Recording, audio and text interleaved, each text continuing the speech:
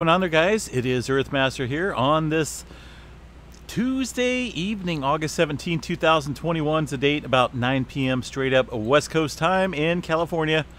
Looking at the latest quake on the globe it's going to be a 5.8 can you guess where? Down here at the south end of the globe towards the south end anyway around the south sandwich islands. Kicking up once again a lot of cluster of earthquakes kicking off over the last 24 hours or so uh, quite a bit of movement down there, no doubt. Uh, here we go, looking at the latest USGS map. A little interesting earthquake off the coast of Oregon here, uh, well off into the Cascadia Basin. A surface quake at 3.1 kilometers. The Cascadia subduction zone thrust area sits here to the uh, just east of this line. Don't see too many earthquakes out there. Kind of odd to see that one out there, but uh, it is what it is. We'll see what happens. Uh, Japan looking still pretty quiet for the most part. A little bit of activity out there, a 4.8 for the most part, pretty quiet. Down here along the Tonga, Fiji area, looking at uh, some further deep movement as well. But I think the big picture over the last 24 hours or so, let's go ahead and add the uh, magnitudes here, which doesn't really help out for this area as far as the all magnitudes go. 5.8, the latest quake there on that map course, he had that 6.1 as well. Quite a bit of movement, folks. I mean, it's will it ever die down? I don't know. Taking a look at the activity, though, um, where was that last 5.8? That 5.8 was further down here. Uh, we haven't seen anything. Well, I guess we did see a 6.3 here, um, kind of like an aftershock. I don't. I, I can't say it's an aftershock or not. Let's go ahead and look at all magnitudes here over the last seven days. There was three different clusters.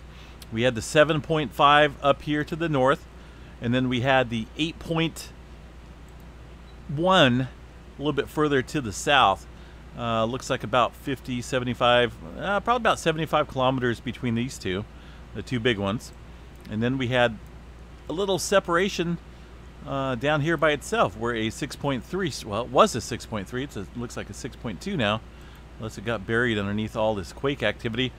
Uh, so still kind of interesting to, to watch this unfold.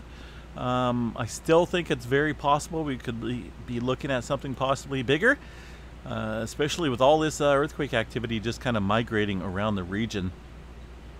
So definitely a hot spot of activity there in the uh, South Sandwich Islands area. Some movement uh, up around the coast of Peru as well, 4.5. And uh, not a whole lot going on around Puerto Rico. Uh, throughout the uh, Caribbean, looking pretty quiet. Uh, Guatemala areas, uh, what do we got? 4.4 just off the coast there. And looking at the states, a little bit of heightened earthquake activity, as you can see, starting with that earthquake off the coast of, of um, Oregon there.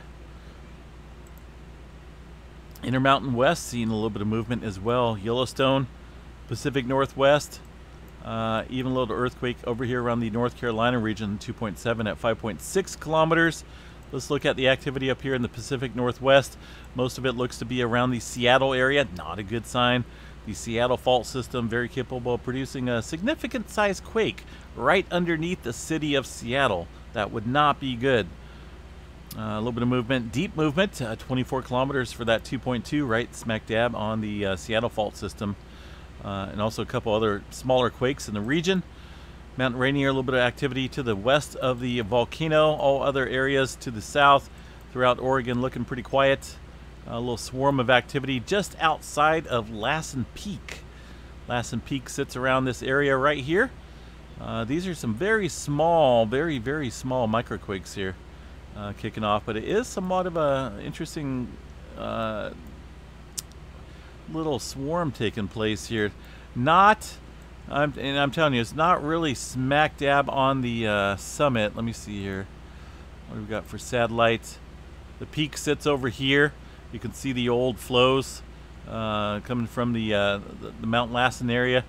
This swarming activity sits about, oh, a couple miles or so to the southwest of Mount Lassen, about three miles or so and most of this is running about three kilometers below surface. So it's something to watch, no doubt.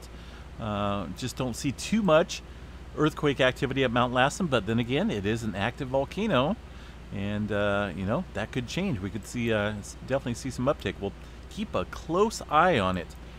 Uh, not a whole lot going on around Sacramento Bay Area, um, including, well, what do we got down here just off the hills here? A little deeper movement uh, taking place well off the San Andreas Fault over to the east. A couple earthquakes there, kind of keep an eye on. Southern California, not a whole lot going on down there, just some microquakes along the San Jacinto Fault area. And if you notice, a little bit of swarming around the Salton Sea, uh, but definitely not a, I shouldn't even say a swarm, just a few microquakes uh, just at the southern end. Very small quakes striking that area. Uh, the Aleutian Trench region, pretty quiet. Uh, just a couple small quakes up here, 4.5, and uh, some other movement stretching over towards the east. Hawaii, let's see what we got going on here in the southern, southeastern area. Kilauea has definitely calmed down quite a bit as far as their earthquake movement goes. This was kind of kicking up uh, a few days ago. Now, most of the activity confined here, southeast flank, uh, and of course the typical deep earthquake activity at that in the uh, Big Island. Uh, what else? I think that's about it, folks. Not a whole lot going on. Let's go ahead and check out the tremor map here on, along the Pacific Northwest. And wow, zero. That kind of shocked me. This kind of shocked me because with all the deeper movement up here, including the activity off the coast, hey, that can't be good. That's uh, kind of odd. You know, there's no slippage. What's going on? Does that mean we're, we're about ready to break? I don't know. Um, we see it often. It comes and goes. The tremor along the Cascadia comes and goes. Uh, just kind of odd. I thought we would see some, uh, at least a few tremors along the uh, areas up here to the north, just due to that deeper earthquake activity around Seattle, but uh, nothing being reported by the PNSN network. Yellowstone National Park, a couple small microquakes along the uh, Holmes Hill area, Maple Creek section, uh, but overall nothing really spectacular to speak of. Some interference over here along the east entrance. This is all crazy, and I, I don't know what the heck's going on there, but definitely not earthquake activity. If that was earthquake activity, it would definitely be showing up there in the uh, on the other seismographs there. Let's see. Possible. Maybe they got some thunderstorms up there. Let's go ahead and check that out real quick. Ooh, I see. I see. I see. I see there's definitely a line of storms um, around West Yellowstone, but that's kind of odd. It's all the way to the southwest. Uh, but it could be definitely uh, picking up potentially on the east side as well, just dependent on the sensitivity. There's some of the swarming, or not swarming, but uh, looks like some of the storm activity kicking off there. But either way, there's definitely a line of thunderstorms making its way up from the southwest. Uh, looks like from Idaho Falls headed towards the uh, um, the Yellowstone National Park area. So that will probably be shown up uh, pretty significantly on the uh, seismographs here. All right, folks, have a good night. Stay safe. I do have my nephew with me, so I got to cut it short and uh, get him ready for bed. Kind of past my bedtime, kind of past his bedtime. Drop that there a little bit to the last 24 hours. All right, guys, stay safe out there. Be prepared. And I uh, hope everyone has a, a glorious evening. Stay safe, everyone. Peace.